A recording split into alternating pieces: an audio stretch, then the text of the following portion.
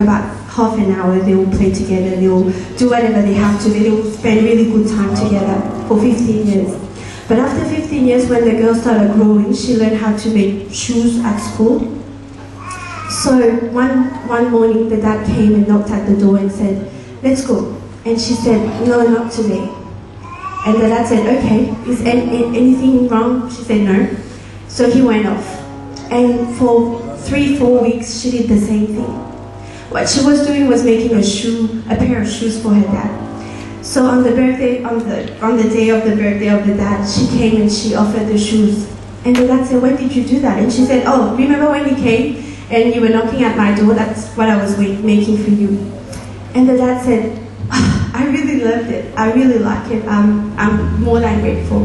But what I would really have loved was for you to have walked this half an hour with me because that's what I really wanted. I really wanted to spend time with you. And this is what the Bible says in Ephesians.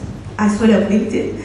Um, that He knows our works. He knows what we do. He knows that we come here every Sunday. He knows that we, we give our tithes and our offerings. And when, when Pastor Peter says, let's do that, you all say, okay, I'm going to do that.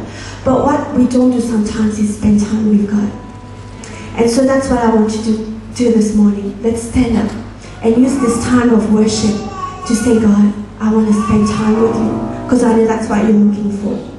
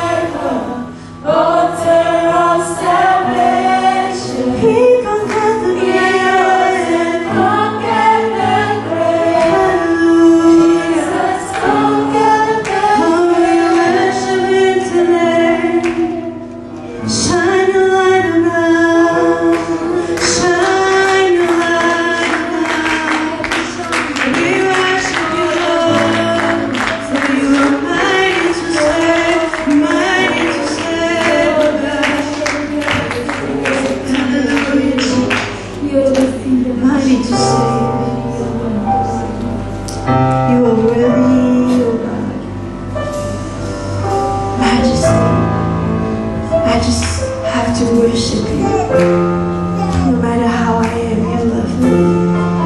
Majesty, majesty, your grace found me just as I am. Hallelujah. I thank you. I don't have to be good to worship you. I don't have